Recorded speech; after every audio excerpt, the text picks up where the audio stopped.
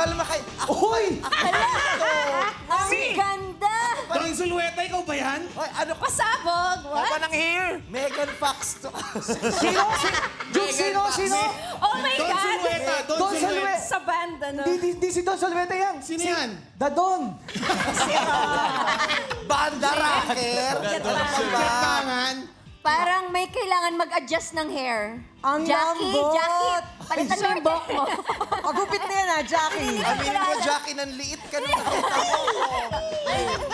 Ay, sandali. May pelikula ka ba ngayon? Ha? Kaka? Ah! Sunshine Kimari. Umitim. Umitim si Sunshine Kimari. Hoy, Kim Kito ngayon. Kim Kiyak ngayon. Kim, Kim Kabayo.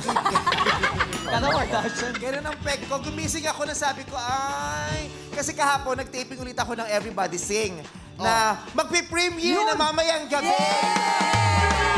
Mamayang gabi ng Everybody Sing. So kahapon, nag-taping ako.